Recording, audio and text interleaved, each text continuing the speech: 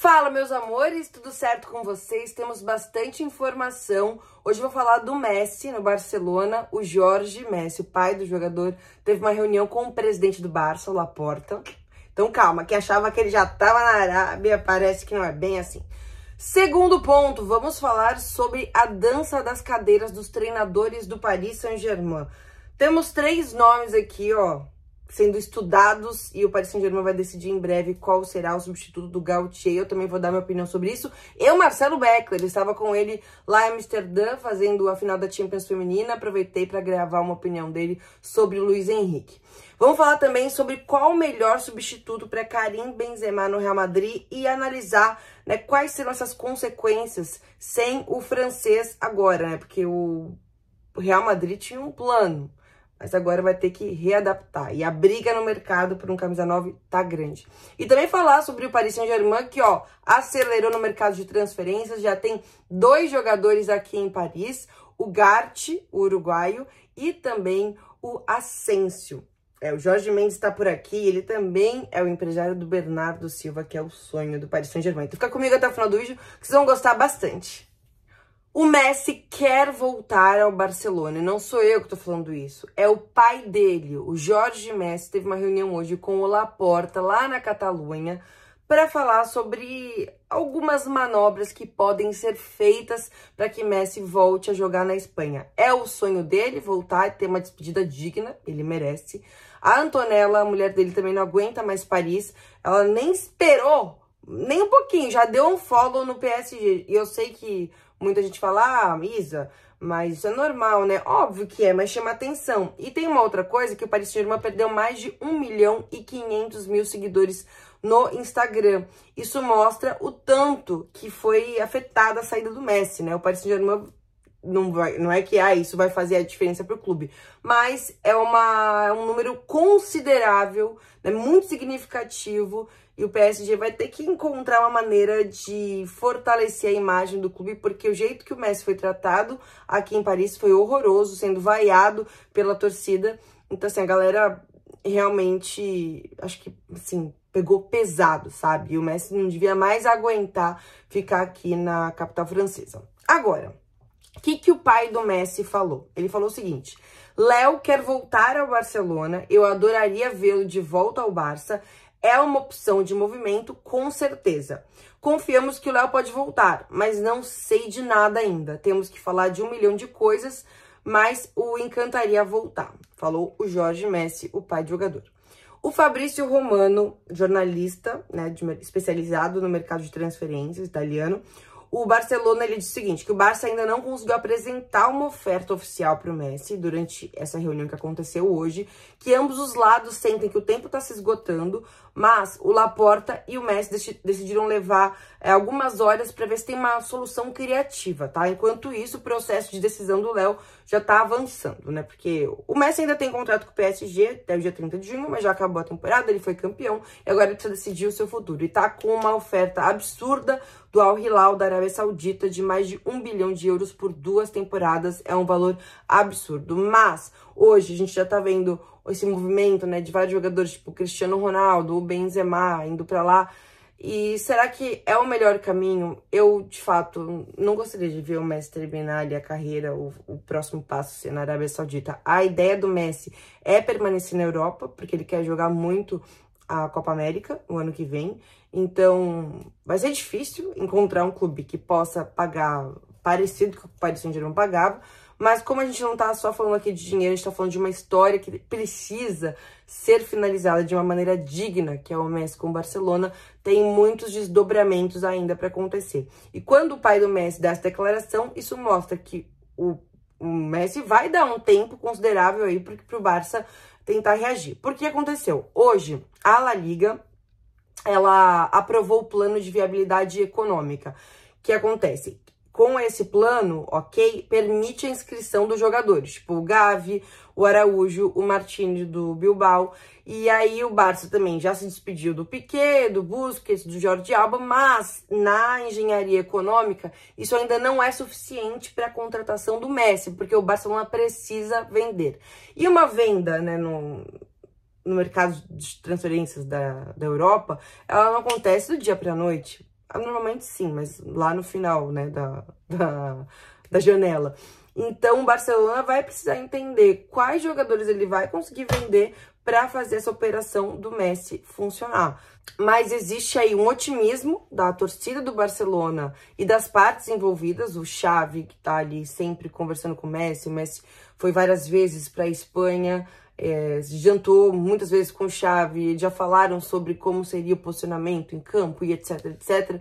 Mas agora tem essa questão do prazo. Até quando o Messi vai esperar e até quando o Barcelona pode oferecer ali uma proposta pro jogador.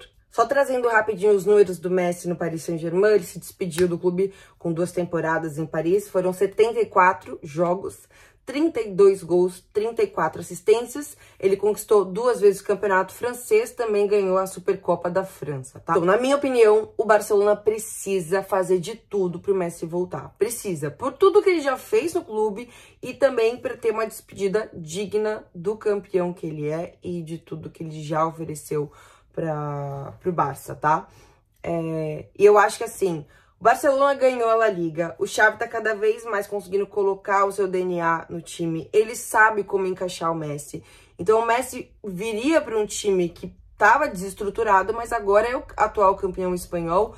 Tem aí muitos jovens, tem muita coisa, tem muito recurso e o Messi pode ali desempenhar um papel importante, principalmente no, na criação das jogadas. Cara, o Messi é gênio.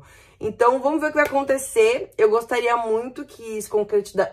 Opa! Que se concretizasse a volta do Messi para o Barcelona. Mas, ó, o tempo tá correndo. O que, que será que vai acontecer? Você acha que o Messi vai para o Barcelona? Agora vamos para o assunto Benzema, que deu adeus ao Real Madrid. Após 14 temporadas, 25 títulos conquistados, 5 Liga dos Campeões, 354 gols marcados com o Real Madrid. E ele vai embora por conta da decisão dele, né? Um ano antes do contrato com o Real Madrid encerrar. O Real Madrid vai precisar entrar numa briga no mercado de transferências com vários clubes que estão procurando um camisa 9, entre eles Manchester United, Bayern de Munique e Paris Saint-Germain. A briga vai ser boa, acirrada e também meio que mexe com uma estrutura do Real Madrid a longo prazo. Por quê? O Real Madrid perdeu peças importantes, né? O Real tem um, uma ideia de esgotar o jogador, assim, por exemplo, Cristiano Ronaldo foi até o limite, Sérgio Ramos até o limite, e Benzema ainda acho que tinha lenha para queimar, mas foi uma decisão do francês de sair agora. Depois de tantos jogadores importantes, líderes do vestiário, saírem do, do Real Madrid, você vai precisar encontrar uma maneira de colocar aí a máquina para funcionar. O Real Madrid perdeu quatro atacantes, né? O Asensio, o Hazard, o Dias e agora o Benzema. Com a saída do Benzema, eles precisam não só de um 9 titular, mas também um 9 reserva. E o próprio Ancelotti falou na, numa entrevista, ele falou assim, é evidente que saindo quatro atacantes, a gente precisa interferir aí e vamos fazer. Tem tempo para a gente tomar medidas, buscamos centroavante de gol que se associe, esse é o perfil do atacante. Então, o Ancelotti tá bem tranquilo, falou que se queda mesmo, né? Vai ser o treinador da próxima temporada do Real e vai trabalhar, já está no trabalho aí com o Real Madrid para buscar as novas contratações. O Real não gasta dinheiro há muito tempo no mercado de transferências. A imprensa espanhola fala que o Real Madrid tem uns 300 milhões para gastar. Só que o Bellingham do Dortmund vai custar mais ou menos uns 100 milhões de euros. Então, né, praticamente um, é, um 100, 120, um terço dessa parte aí já seria comprometido. Só que para 2024, a gente está falando da janela de agora que o Real Madrid vai ter que agir. Comprando qualquer que seja o jogador, o atacante, vai comprometer os planos para 2024, porque o Real Madrid tem o sonho de ter o Haaland, Mbappé e Vini no ataque do Real em 2024. O Haaland tem um contrato com o City, tem uma pelo que eu vi aqui, tem uma multa rescisória que ele, de 200 milhões de euros em 2024. Mbappé diz que fica esse ano, então ele vai cumprir o contrato dele e deve sair de graça, a não ser que o Paris Saint-Germain consiga reverter a situação. Eu, eu acho que não, tá? É, então o Mbappé mais, teria que esperar mais um ano pelo Mbappé. Só que você não pode ficar esperando e não contratar ninguém. Contratando alguém agora, Você vai falar, ah, é um tapa-buraco? Não, não pode ser um tapa-buraco. A gente tá falando do Real Madrid. E tem alguns nomes que estão sendo especulados e alguns perfis interessantes. O Havertz, por exemplo, do Chelsea. Como o Chelsea não vai disputar nenhuma competição é, europeia na próxima temporada, terminou em 12 no campeonato inglês, vai precisar se desfazer de algumas peças, tá? E, e, o Real Madrid, como de praxe, vai estar na Liga dos Campeões, é um belo de um atrativo, além de ser um dos melhores times do mundo. O Bild, o jornal alemão, falou que o Real Madrid está preparando uma oferta generosa pelo jogador de 23 anos. O AS fala também que é, ele entra dentro dessa agenda de renovação do elenco merengue pela pouca idade, né? O Real Madrid aposta bastante em jovens. Outro perfil ali para o camisa 9 é o Harry Kane do Tottenham. Só que o Tottenham sempre dificulta nas negociações. O Levi, né, dirigente lá, o presidente do Tottenham, ele é difícil. Então, mesmo Kane tendo só mais um ano de contrato, pode ser que ele dificulte essa negociação. Só que vamos pensar uma coisa também. O Kane fica lá mais um ano, depois sai de graça. Não seria a hora de negociar e ganhar um dinheiro ainda com esse jogador? Tá? O Harry Kane, ele hum, já demonstrou assim ter esse negócio de faro de gol, tá? Que o Ancelotti gosta muito. E ele tem o, o Harry Kane 280 gols em 435 jogos pelo Tottenham, tá? Ele é o maior artilheiro da história da seleção da Inglaterra, com 55 gols em 82 jogos. E como o Tottenham também não vai participar de nenhuma competição europeia na próxima temporada, o jogador de 29 anos aí poderia, né, ter essa vontade de deixar o clube. Só que a ideia inicial do Harry Kane é permanecer na Inglaterra, tá? Por isso que, de repente, o United pode passar aí na frente do Real Madrid, porque ele queria é, quebrar o recorde de 260 gols do Alan Shearer na Premier League, porque o Kane tem 213 hoje, então falta pouco aí, né, de 213 para 260, enfim. Mas o Real Madrid tá de olho no Harry Kane. Agora, temos o Osimhen do Napoli, que tá sendo muito concorrido, o Colomani, e eu tiro dessa conta o Mbappé e o Haaland pelos motivos que eu já expliquei antes para vocês, né? São dois jogadores que não vão sair agora dos seus clubes e seria um investimento para o próximo ano. Só que aí, Real Madrid gastando um dinheiro para contratar um camisa 9, um eventual reserva para o camisa 9, vai fazer o quê? Vai gastar uma grana agora para depois tentar no próximo mercado investir nesses jogadores que é o sonho do time. Florentino Pérez vai colocar um tapa-buraco? Não vai, entendeu? Eu falei, não vai colocar. Então vai ter um comprometimento de orçamento e também na questão esportiva. Para você aí, qual seria o melhor substituto para o Karim Benzema diante da realidade, gente? Não vamos falar agora de Mbappé e Haaland, porque eles não estão disponíveis. Qual centroavante você contrataria para desempenhar essa função deixada pelo Karim Benzema? Agora a dança da cadeira do técnico do PSG. Quem que vai nessa dança sentar primeiro? Porque, ó, hoje a gente tá vendo aqui na imprensa francesa, no Le, no Le Parisien, o Mota, Luiz Henrique e o Nagelsmann são os três perfis estudados pelo Paris Saint-Germain. Do nada, Mourinho desapareceu dessa história. Não sei se é uma estratégia também para negociar com o Mourinho e de repente, é, assim, sabe, tirar o foco. Ninguém tá falando mais do Mourinho no PSG enquanto eles estão negociando. Mas vamos aos fatos, tá? Hoje, é, Gautier não vai ser mais técnico do Paris Saint-Germain, mesmo ele quase implorando naquela coletiva, assim, queria uma segunda chance, etc, etc, não vai ficar. É...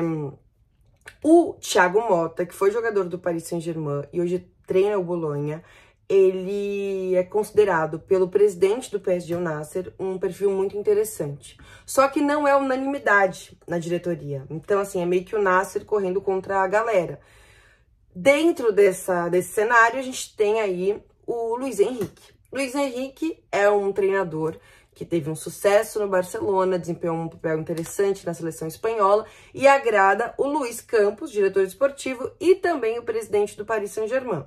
O Le Parisien coloca aqui que o Luiz Campos veria com bons olhos o Luiz Henrique por conta de toda a passagem dele, tanto pelo Barça quanto pela seleção espanhola, que seria o perfil ideal para colocar o Paris Saint-Germain nos trilhos, tá? É, principalmente por ser unanimidade, né? E também pela sua experiência essa questão da tática, da vontade de garantir o espetáculo, enfim.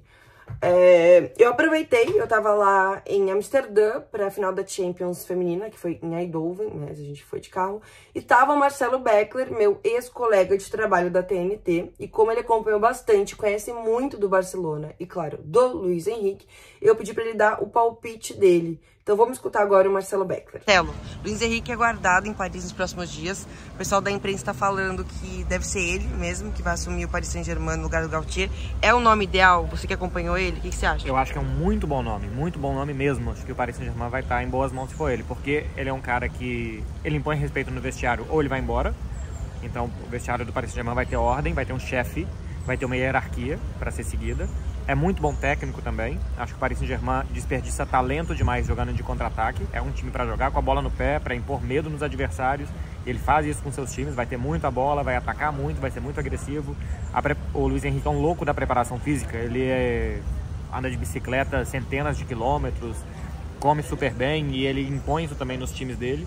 Vai ser um time fisicamente muito bem preparado, então dentro das opções que tem no mercado e do que a gente já viu do Luiz Henrique, eu acho que é uma muito boa opção do Paris Saint-Germain. E essa questão do Sérgio Ramos, né? Porque estavam falando que o Sérgio Ramos talvez fosse no Paris Saint-Germain reduzindo o salário, ganhando bônus por metas, enfim. E no final das contas ele não vai ficar. Você acha que pode ter alguma relação com a chegada, possível chegada do, do Luiz Henrique? Se já estiver muito perto de contratar o Luiz Henrique, ele já estiver participando da, do planejamento do time para a próxima temporada, eu acho que pode ter sim. Falando, olha, Luiz Henrique, então chega semana que vem, praticamente já para assinar, temos aqui essa situação do Sérgio Ramos. Ele pode falar, não, com esse eu não quero, não conto, conheço da seleção espanhola, prefiro um time diferente, um time mais novo. Eu acho que até que poderia ir por aí. Mas também pode ser que uma questão salarial, né? Uma questão de acerto, parece que já tem problemas com o fair play, talvez precise investir em outras posições. Com a saída do Messi, o PSG vai precisar contratar um jogador para aquela posição. Não sabe se o Neymar fica ou não, então também vai ter que rever o seu plantel como um todo. E talvez a saída do Sérgio Ramos já tão experiente, tão veterano, seja também por isso. Tá, agora uma nota de 0 a 10 para o Luiz Henrique. Uh, nota 8. Muito bom técnico. Boa. Obrigada, Marcelo. Nice.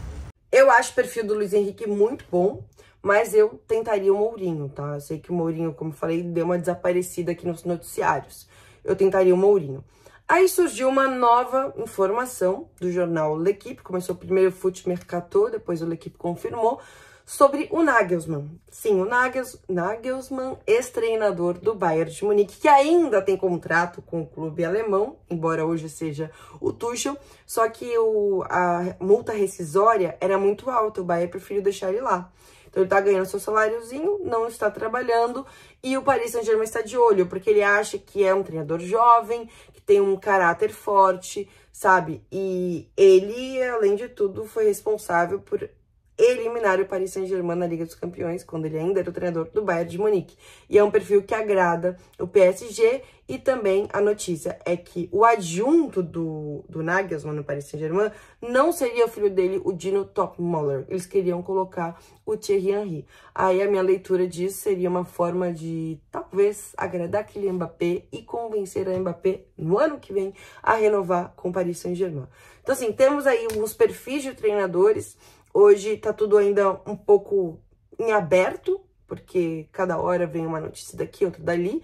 Eu vou seguir acompanhando isso para vocês e a gente vai entender aqui qual vai ser o treinador, o melhor perfil, porque o PSG já troca de treinador como troca de, de camisa do, do time, então eu acho que precisa acertar agora, sabe? Pegar um treinador e deixar, porque eu nunca vou superar o fato do Thomas Tuchel ter saído do Paris Saint-Germain depois de ter levado o time até a final da Liga dos Campeões. Aquilo foi uma gestão horrorosa. Então agora que o Paris Saint-Germain não cometa os, os, mesmos erros, né? O discurso que eu sempre falo aqui, mas no final das contas acaba se repetindo esse ciclo. Agora, o Paris Saint-Germain, ele, falando um pouquinho do mercado de transferências, já tem o acordo do Skriniar, o zagueiro do, da Inter de Milão, tá? E o Marco Asensio, e também o Gart, o jogador é, uruguaio, os dois são do Jorge Mendes, né, o empresário, que também é do Bernardo Silva. Eles estão em Paris para finalizar os últimos detalhes para fechar com o Paris Saint-Germain. Então, o Paris Saint-Germain não está perdendo tempo, está indo atrás aí dos jogadores, tá, assim, a milhão para poder começar, porque a janela, a janela de transferências aqui da França abre no dia 10, né? No dia da final da Liga dos Campeões. Inclusive, estarei em Istambul em breve, conteúdos muito massas aqui para vocês. Então, o PSG tá acelerando aí esse seu mercado de transferências. É, eu deixo aqui mais uma pergunta para vocês responderem. Qual seria, entre as, as opções, o melhor nome de treinador para o Paris Saint-Germain para a vaga do Gautier? Luiz Henrique? Thiago Mota? Nagelsmann ou outro? Deixa aqui nos comentários. E também, qual jogador você quer ver no Paris Saint-Germain? Qual jogador que o Paris Saint-Germain precisa investir nessa janela de transferência, já que perdeu agora o Messi, vai perder outros jogadores, enfim, quero a sua opinião. Não esqueça de ativar o sino, né? Se inscrever no canal e deixar aquele like. Beijo!